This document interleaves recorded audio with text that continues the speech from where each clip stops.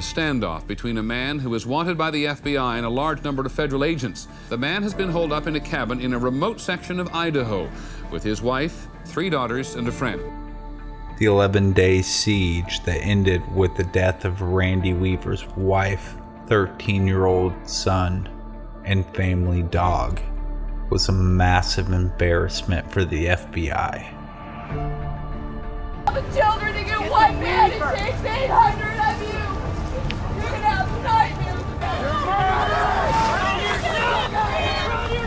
yourself an American? These are Americans. These are God-fearing people. You don't even know your Constitution. To try to scare the average American so he won't open his mouth against the New World Order. That's all this is. After entrapping an Army vet into a nonviolent crime, the feds wired his mountaintop property with cameras and began making armed patrols of his land. After harassing the family for a while, they kicked off an 11 day standoff by killing Randy's dog and 13 year old son. I came to point in my mind that I, I knew it was all dead. And it's just a matter of time. And it didn't even matter. I was hoping that if they killed any, any of us, they was going to kill us all and do it quick because I didn't want to see my kids suffer.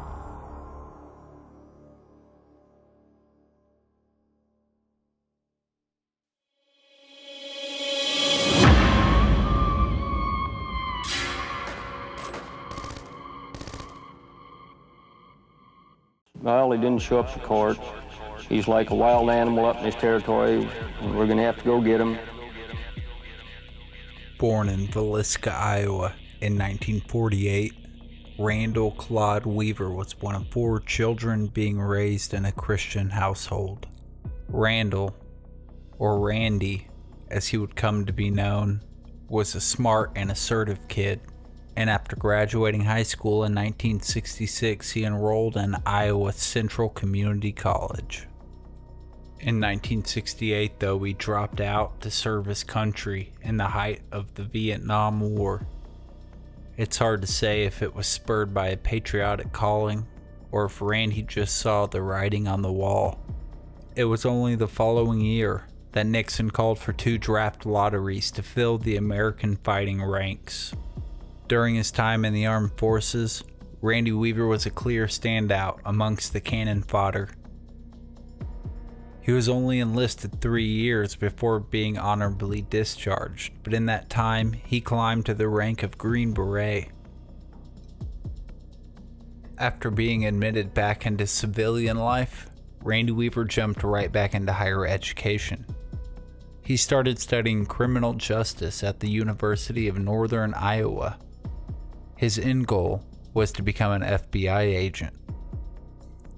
But around the same time, life would throw Randy an unimaginable curveball by the name of Victoria Jordison. Randy was head over heels, and he proposed within a year of meeting her. The two were wed at the First Congressional Church in Fort Dodge, Iowa, and they began forming their family. The couple had three children together Sarah, Samuel, and Rachel. Eventually, the expenses of a growing family priced Randy out of the tuition needed to continue schooling, but he was happy to pivot focus. Since the day he'd met Vicky, making her a happy woman had become his ultimate goal.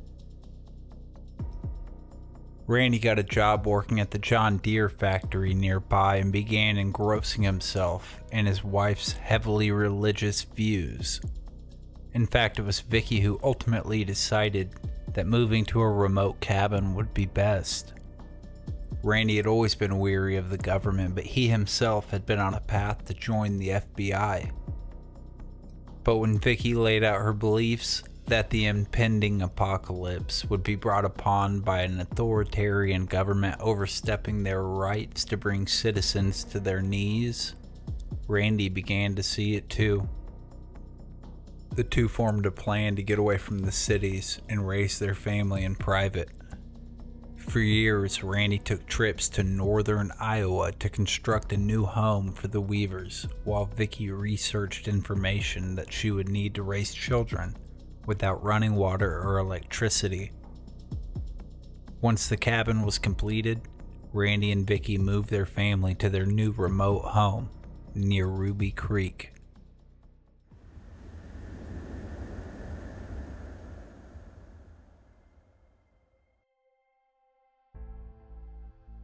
After settling in on the ridge, they began to make a new life work for themselves.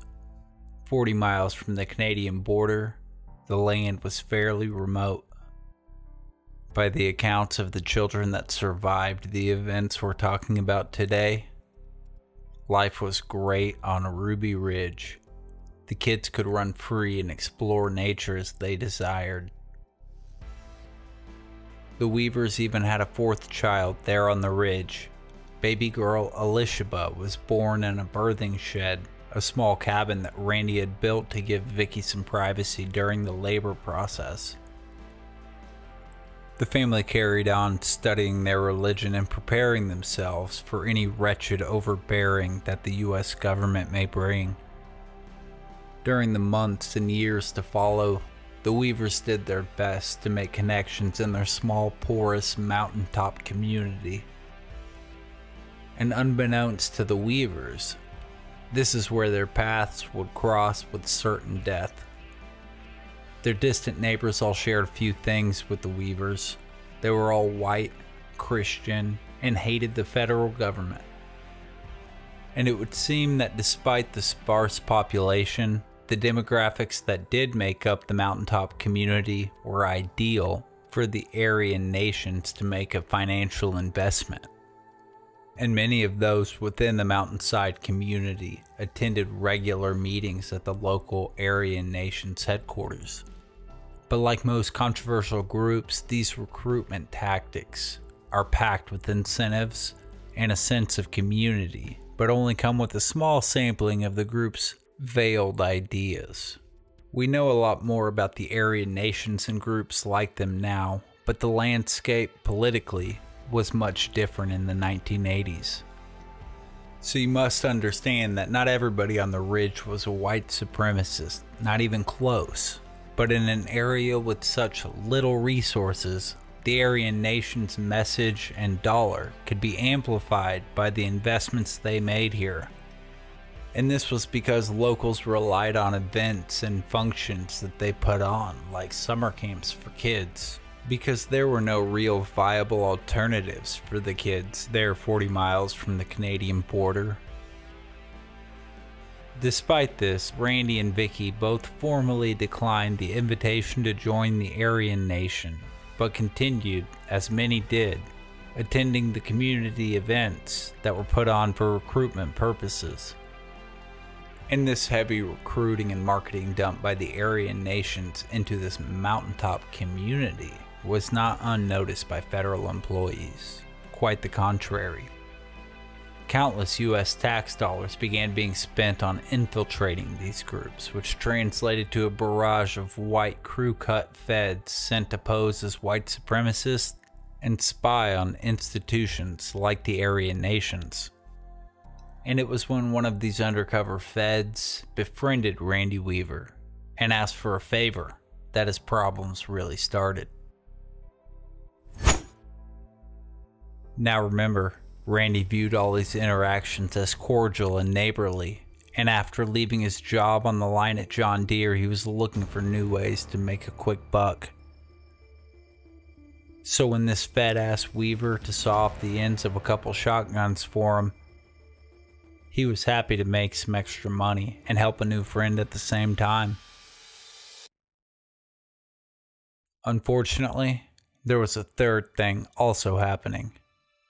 Randy Weaver was committing a federal felony by making these simple alterations, which was the goal of the entire ask.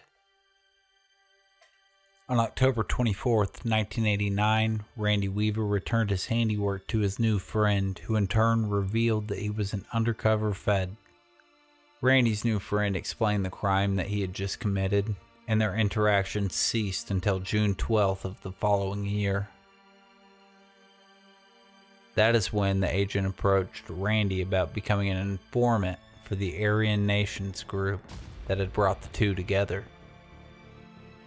Randy told him plain and clear that he wasn't a part of that group and that he couldn't help them. Still, they persisted and threatened to charge him with altering the shotguns. After Randy refused to be the federal government's earpiece, his arrest was imminent. In December of 1990, Randy Weaver was officially indicted by a federal court for selling illegal weapons to an undercover agent. And on January 17, 1991, over a year after handing off the shotguns, Randy and his wife were arrested. The ATF had pretended to be a car broken down in the snow, knowing the Weavers were heading down the pass. When Randy and Vicky got out to help, they were both thrown in the snow and cuffed. Vicky was released with the children, who were watching horrified from within the car as the scene played out. Randy, however, was taken in by authorities and posted bond with the deed to his home the next day, as he had no previous criminal record. The Weavers didn't know what to do. They figured their crime was a clear case of entrapment and a victimless one to boot. After a lot of praying, Randy Weaver decided that he wasn't going into court. Best case scenario, the feds let it go and move on to a more valuable mark. Worst case, they would have to come up to the ridge and remove Randy and his family from the cabin. And unfortunately for the Weavers and all the federal bodies that would get involved, they started down that second path. On March 14, 1991, Randy Weaver was indicted for failure to appear at trial and for the next 18 months, Randy Weaver, his wife, and their three children began the 18 month sit in. Their fourth child, baby Elishaba, would be born during this time.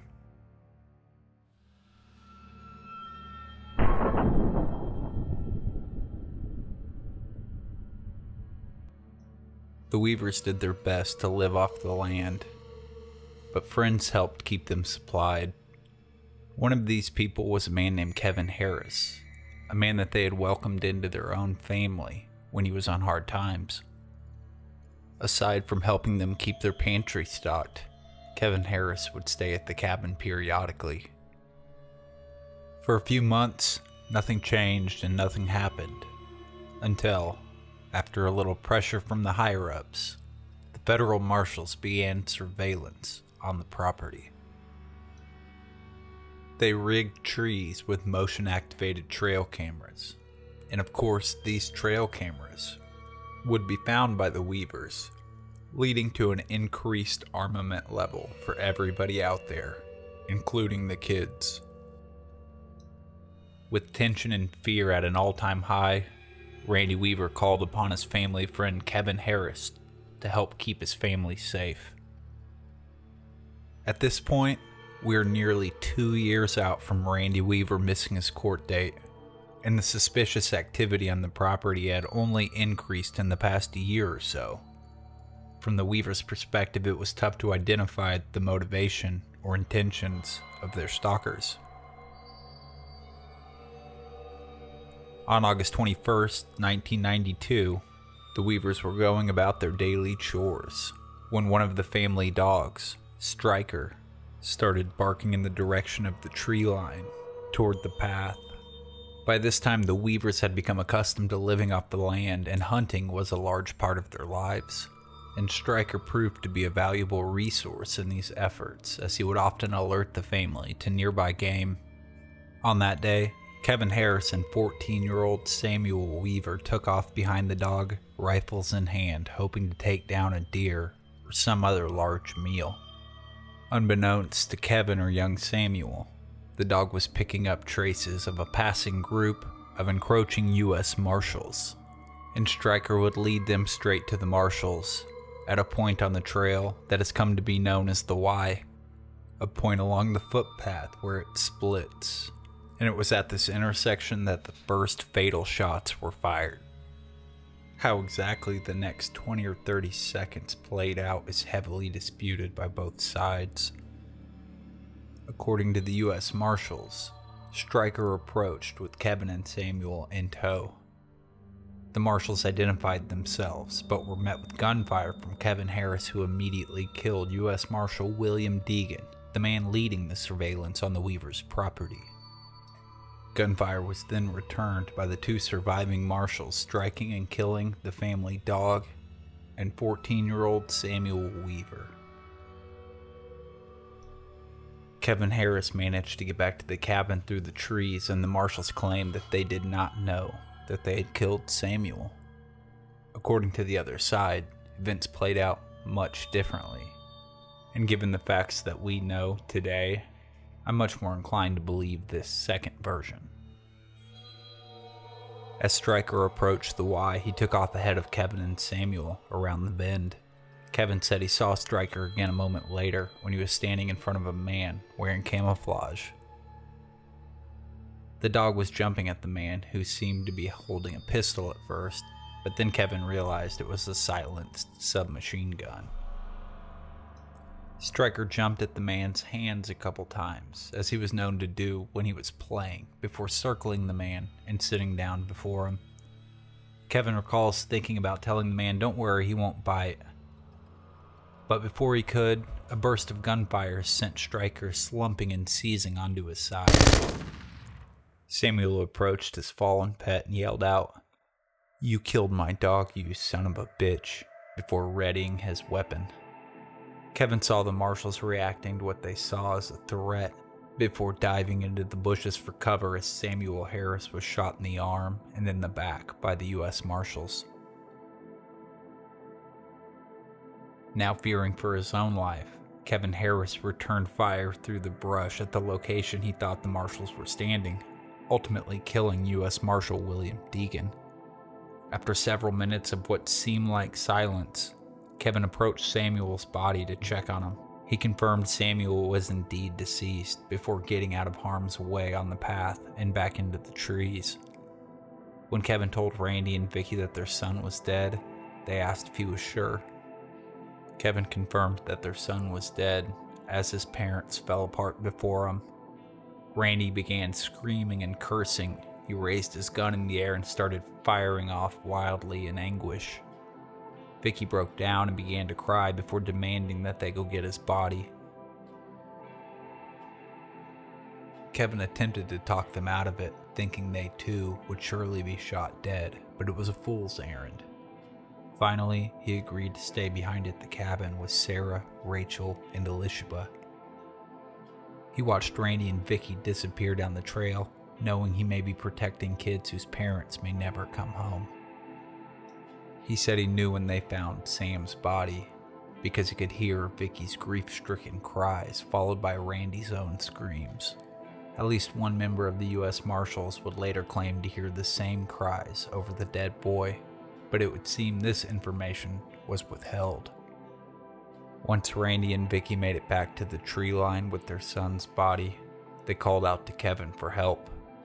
Vicky was exhausted and she needed a break. Kevin took Vicky's place and the two got Samuel all the way to the pump house before Randy too was spent. Kevin then picked up Samuel's body, putting him over his shoulder, and carried him to the birthing shed that Randy had built for Vicky to have Elishaba and laid him on the bed. He then left Vicky and Randy there to clean up their son and grieve. When the surviving two marshals reported the incident, there was no mention of shooting a child, and a heavy emphasis on the marshal now laying dead at the hands of who they described as a dangerous white separatist who would never be taken alive. Based on the incomplete information sent up the chain, the state and federal authorities began converging on Ruby Ridge overnight. Armored vehicles rumbled down the back trails and helicopters buzzed over the terrain. By the morning of August 22, 1992, there were over a hundred law enforcement personnel forming a perimeter around the Weavers' property, and more were arriving by the hour. All agencies involved were outraged at the death of U.S. Marshal Deegan, and the FBI drew up special rules of engagement for the operation. If any adult in the area around the cabin is observed with a weapon after the surrender announcement has been made, deadly force could and should be used to neutralize the individual. If any male is observed with a weapon prior to the announcement, deadly force can and should be employed if the shot can be taken without endangering any children. Of all the dangerous and compromising situations the FBI finds themselves in, this was the first time rules like these were drawn up against US citizens.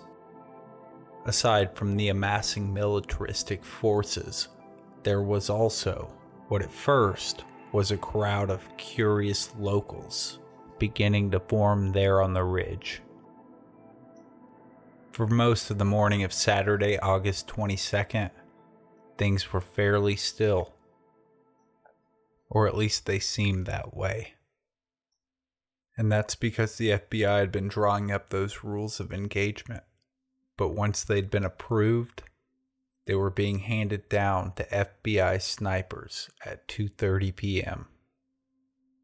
At 3:30, the sniper units depart on foot into the wilderness towards their respective outposts. At 5:15, the sniper teams arrive at their locations and begin to watch over the Weaver property. The morning had looked a little different from the Weaver's perspective. From inside the cabin, the forces surrounding the location was impossible to miss. The air was thick with sirens and the sounds of choppers flying overhead. The family was scared and pinned down, and no one really spoke much. Randy and Kevin turned on the radio, and they discovered that Kevin had killed a deputy marshal, and that explained the sirens and the choppers that they had heard all morning. The cabin had meant safety to the Weaver family but that afternoon, in order to take care of a few things, they decided to brave whatever horrors await them outside that front door.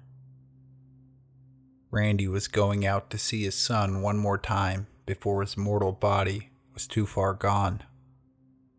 It would be too dark in the birthing shed, so Kevin Harris offered to run and grab some batteries for the flashlight that he knew were only a short walk away from the house and eldest daughter Sarah wanted to check on their other dog who had been whimpering outside all morning.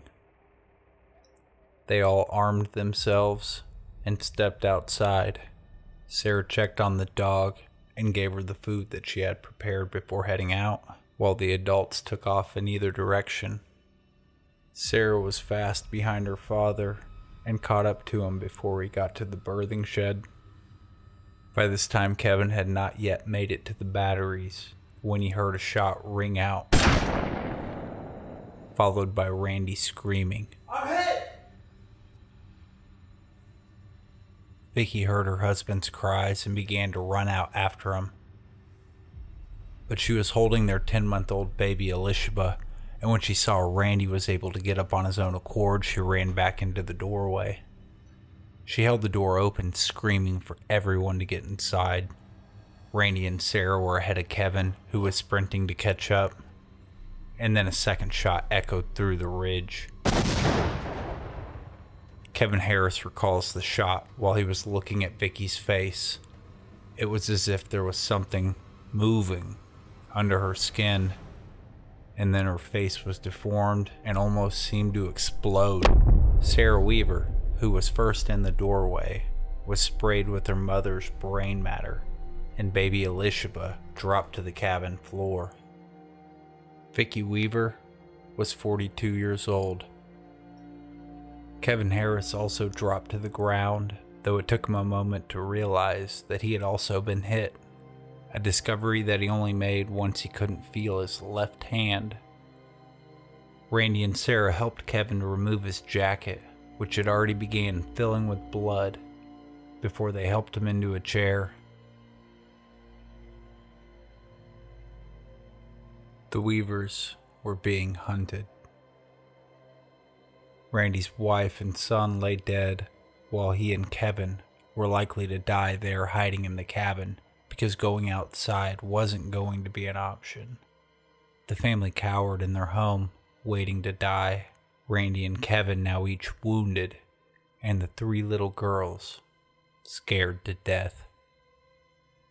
The FBI sharpshooter who had killed Vicki Weaver and wounded Randy and Kevin, named Lon Horiuchi, later claimed that he had fired because he thought that the group was about to shoot at a surveillance helicopter. And where this may excuse the shot at Randy, it's hard to imagine that firing at a doorway as people sprint into a cabin for cover can be viewed the same way, especially when one of those people is a child. For a second time, the incidents on the ridge were being reported much differently to the public. The sharpshooter said nothing about shooting off Vicky Weaver's wig, and the story that the public continued to hear was that the family was full of suicidal white supremacists. They would surely shoot it out until the end. There was no mention of Vicki or Samuel Weaver, or the incompetence that led to their deaths. The following morning of August 23, 1992, FBI agents moved in on the Weaver's cabin, tightening their perimeter and attempting to gather intelligence on the family's whereabouts. And it was during this sweep, as the family cowered in fear, that the agents found Samuel Weaver's body in the birthing shed. They retrieved his corpse and took it back but they could no longer hide the blood on their hands. An outrage amongst the Idaho locals erupted. Come on! Baby killer! Baby killer! Baby killer! Smile! Smile! You bastard! Are you proud of yourself? Are you proud of yourself? You're gonna kill all the children and get one man who takes 800 of you! You're gonna have nightmares about this! You're gonna burn in hell! Later that day, Kevin Harris was formally charged with killing Marshall Deegan, and Kevin was charged with lesser federal crimes. For the next several days, the ridge remained relatively still as police started coming up with a better plan to deal with the family, especially now that their handiwork was starting to not look so great on national TV. They started using loudspeakers to attempt to communicate with the family because there was no phone inside the cabin.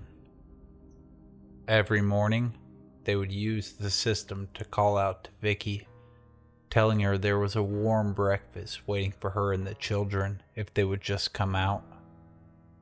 To anybody inside the cabin, though, this was incredibly insulting. They, as I do, found it hard to believe that the FBI didn't know that Vicki Weaver was dead.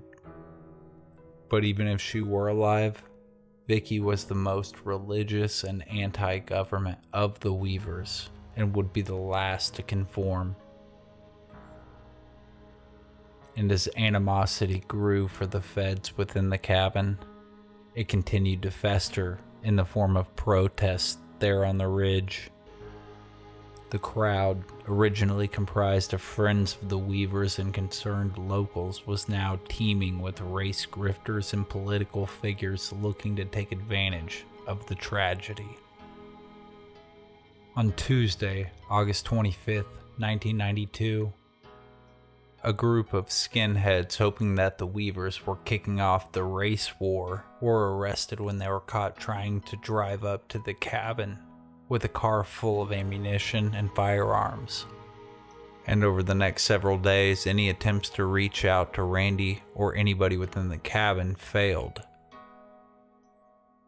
As days of increased media coverage shined a brighter and wider light on the FBI's lackluster handling of somebody who was becoming more and more sympathetic in the public eye, the FBI became more desperate for options a man named Bo Gritz, who was running in the 1992 presidential election under the Populist Party, had already offered a few times to come down and assist with the FBI's negotiations. Bo Gritz is relatively unknown today, but like Randy, he was a former Green Beret, and his campaign slogan was God, Guns, and Gritz. After days of making no progress themselves, the FBI agreed to let Bo talk to the Weavers on the night of Friday, August 28th. A full week after the death of Samuel Weaver, and nearly three years after Randy Weaver had been entrapped, the feds had finally made a good decision once they were fully under the public microscope. The FBI drove Bo Gritz out to the cabin and gave him a bullhorn. Bo starts calling out to Randy, identifying himself before approaching the cabin against the wishes of the FBI. Bo was confident that he could get Randy's attention, and he was right, because Randy stuck his head out the window for a moment to confirm that it was Bo, before unloading the horrible truth that lay within the cabin. And when Bo informed the FBI that they had killed Vicki Weaver, a press conference that was set up that evening shows just how hard it was for them to admit. The three ch- children are in good health. Kevin is all right, but he did suffer a wound. Randy's in good health. Unfortunately, Vicki is dead. On August 30th, Bo Gritz returned to the cabin to retrieve Vicki's body and check on the people within. And this is when he saw the declining state of Kevin Harris before getting Vicki's body into safe hands. Bo Gritz returned and demanded that Randy hand over Kevin, or Bo himself would testify in court that it was Randy that was responsible for Kevin Harris's death, as he would inevitably die there in the cabin. It is then that Randy lets Bo take Kevin Harris down the hill. The following day, on Monday, August 31st, Bo returns to the cabin for the last time. With time running out, he pleads with Randy to come out, telling him that there is a massive lawsuit waiting for him at the bottom of the hill that would make his family rich. He explained all that they had to do was surrender, and their only other option was certain death. Randy answered by telling him that he had left it up to the girls, that he, Sarah, and Rachel had prayed all night, and in the morning, he let the girls decide.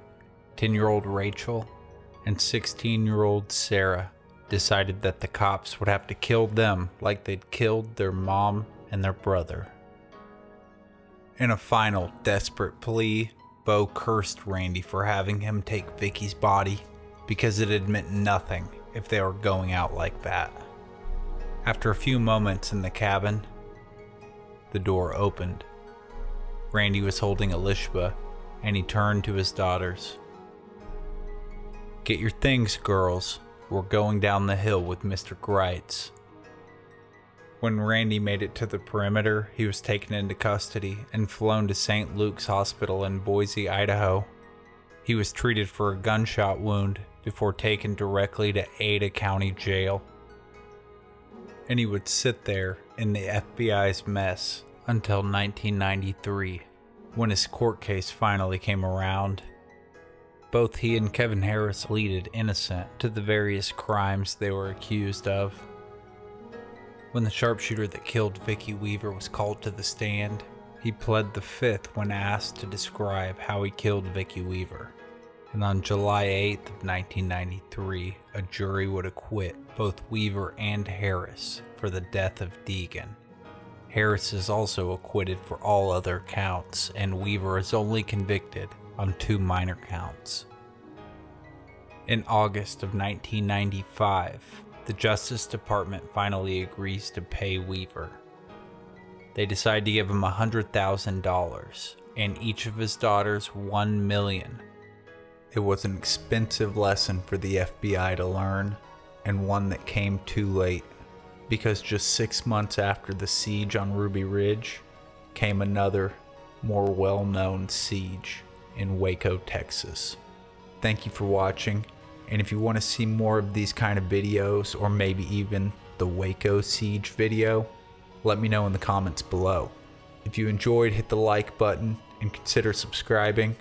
You might know this isn't the most ad friendly content, so if you want to support the channel further, check out my Patreon page.